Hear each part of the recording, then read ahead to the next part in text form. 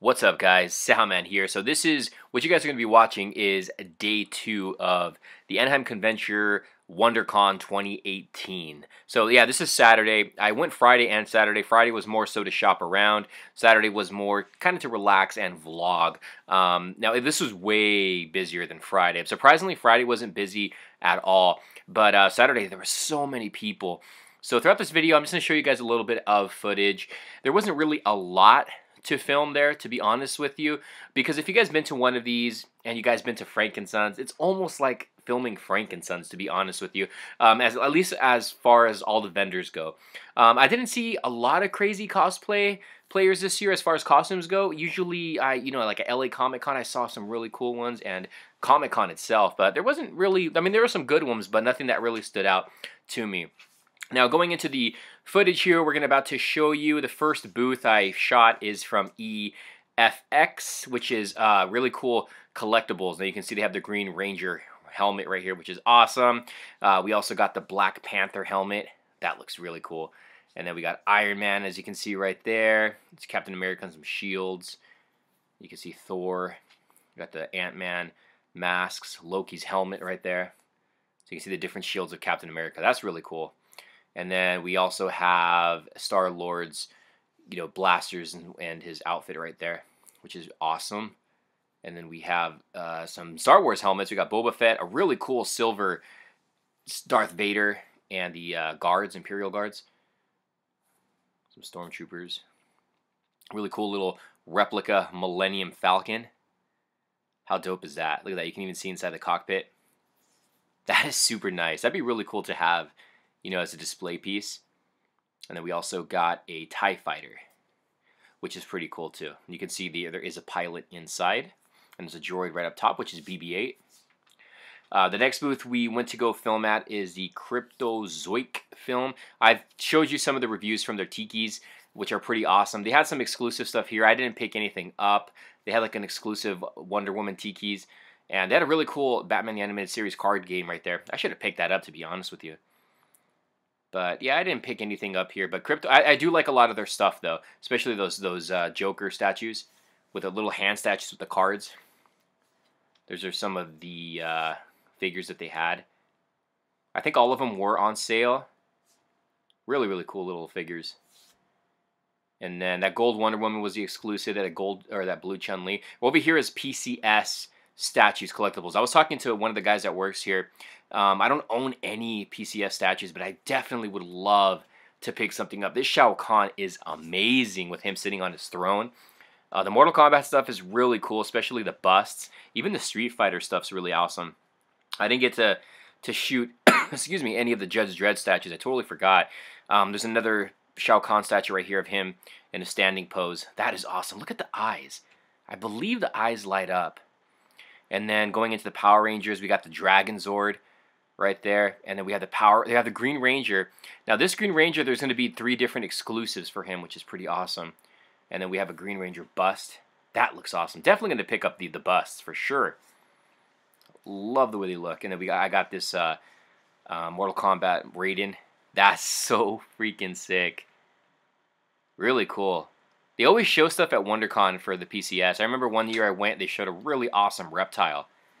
That was just beautiful. Now, the next booth I am going to show is from FOCO. I think I'm saying that right. And they make Eekeez, kind of like tikis. Um, I did pick up some of their stuff there. I talked to the sales manager there, and we're going to work something out about sending out some samples. But uh, yeah, they apparently they make a lot of sports figures, vinyl figures, just like you see here. So I mean, these are a lot of the, the a lot of everything you see there is, is on sale. Um, I did pick one up, so you guys will see it at the end of the video in the haul video. But uh, yeah, I guess they got the licensings for it. You guys saw that in a second.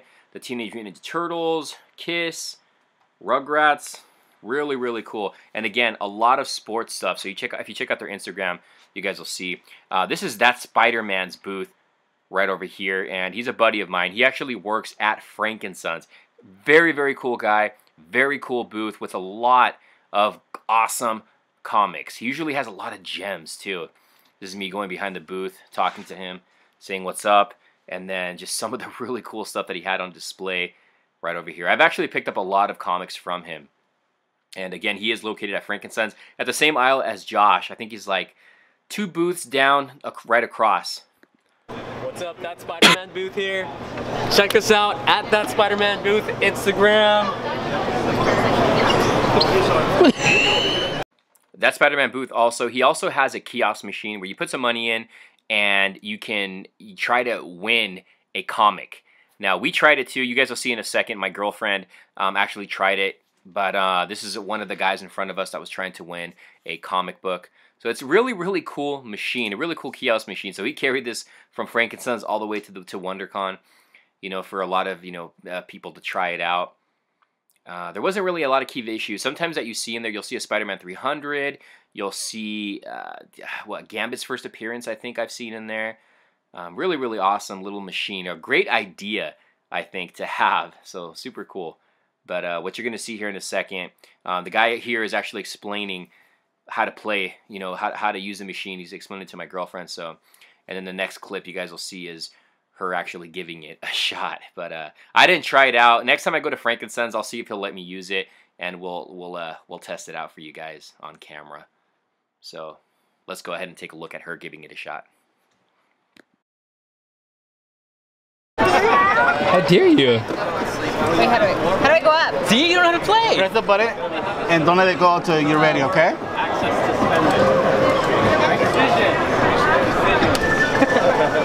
Whenever you're ready, you let it go. And hopefully it goes into the hole.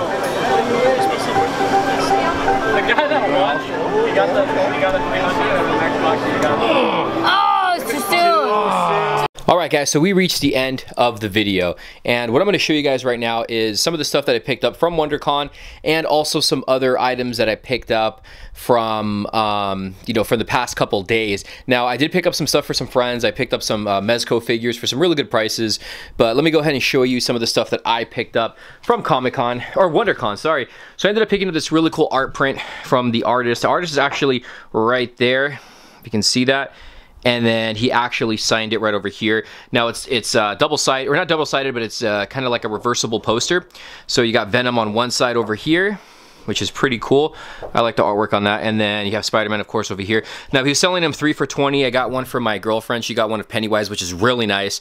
And we got one for her son, which was uh, kind of like this. One side had an alien, the other one side had a predator at the bottom. So we got that really cool. I don't think there's anything on the back. No. So we got that. I ended up getting this from a seller. Uh, he was selling this for $5. And that is the old Batman 89 cereal box that came with a really cool Batman bank. Now there's no cereal in here, so he took it all out. He said because of uh, he had some issues with rodents or something. But it's really cool, you know, to have something this, you know, this old, you know, Batman related, especially 89. That was my favorite Batman, so I got that, and then the really cool little bank to go with it. I remember going to a uh, thrift store and seeing this, and they were they were asking 15 for this alone. But we got that. Um, also at WonderCon, I ended up picking up the Wolverine number one for six bucks, which is pretty cool. And I got the Toxin first appearance. Now, I did not pay that price. I got it from that Spider-Man booth. Uh, I'm not going to tell you the price he gave me, but he hooked it up. So I got Toxin's first appearance, Venom and Carnage. I also got the Infinity Gauntlet. I did not pay that price again. I got Cejaman prices, but really cool to have this. I got to give this a read. Um, I picked this up, I think for $3. I could be wrong. The Batman Returns comic book adaptation, which means I think the only one I need now is Batman Forever because I have the Batman and Robin and the first two Batmans. So I got that. Um, this I picked up at Frankenstein's actually, and this is the Bride of Venom. I got this one for a really good price. This is awesome. So I got the Bride of Venom right over here.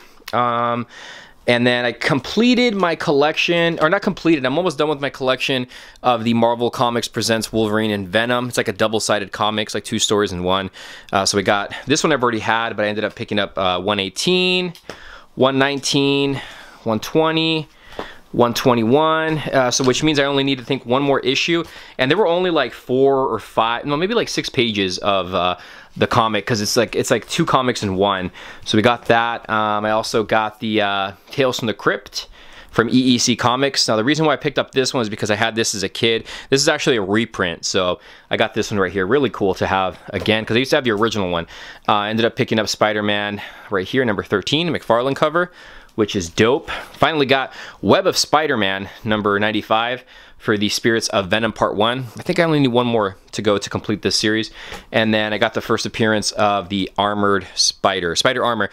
And uh, I think I already showed this off, the X-Men look lookbook. Pretty sure I showed that off already. So that's some of the stuff there, uh, um, out not WonderCon. Now going back to the WonderCon stuff, I got this right here from Eekeez Nickelodeon. I got the WonderCon exclusive black and white Leonardo. Really cool. Now I talked to the um, the the uh, the company about getting some samples sent to me, so I'm going to contact them. Uh, but this is really cool. I think he said there was only a thousand made. I could be wrong, but uh, he the artist actually was there and he signed this for me. So these these are really really cool. Now you guys saw in the footage they make a lot of uh, uh, you know, the Nickelodeon, SpongeBob, uh, they had Rugrats, Turtles, of course, some Batman stuff, and then you guys saw they were going to make Pennywise, which is really cool. And then he, he told me some other horror ones, but I forgot what he which one he mentioned. Um, so we got that there. Also, here's some of the cards right here for the companies, so pretty cool. Um, so I ended up picking up some pops. Now these I opened up, I took them out of the box. So you got I got the uh, Karate Kid pop right over here. Now this is really cool because you know, since the Cobra uh, Kai trailer came out, these are going to be harder to get. These are going to be more sought after. So I managed to pick up uh, Ralph Macchio's character right here, which is awesome. So I got that. Um, I got SpongeBob, and the seller that was selling SpongeBob had a bunch of them. Um, so I managed to pick up SpongeBob because I, believe it or not, I actually really love the cartoon SpongeBob SquarePants. It's really cool. So happy to have this in my collection. And then I got the Creature of the Black Lagoon also which is really, really nice. So I'm going to be taking photos of all these. And uh, what else we got? Here's the Venom, excuse me guys, that I picked up from uh, Frank and Sons. I, I mentioned it on my live stream. So again, I guess it got re-released. Got it for 20 bucks. So pretty cool. All those accessories are right there. Now, lastly is two items I am going to show you, which I'm happy I picked up. One of them I got from Josh, hashtag everybody needs a Josh. The other one I actually got from WonderCon and for a steal. So ready? Ready to reveal it? If you guys follow me on Instagram, you guys probably already saw it. Bam! I got the DC Collectibles Batman bust.